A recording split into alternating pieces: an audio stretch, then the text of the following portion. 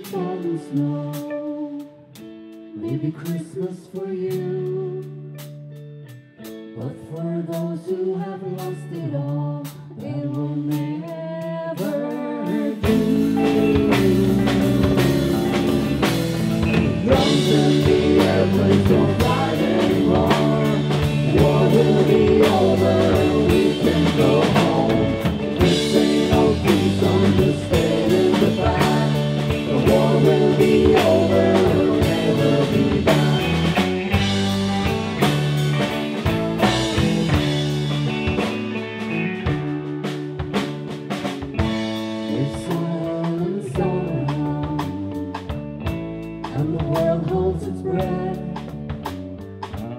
What this Christmas might bring to us another glad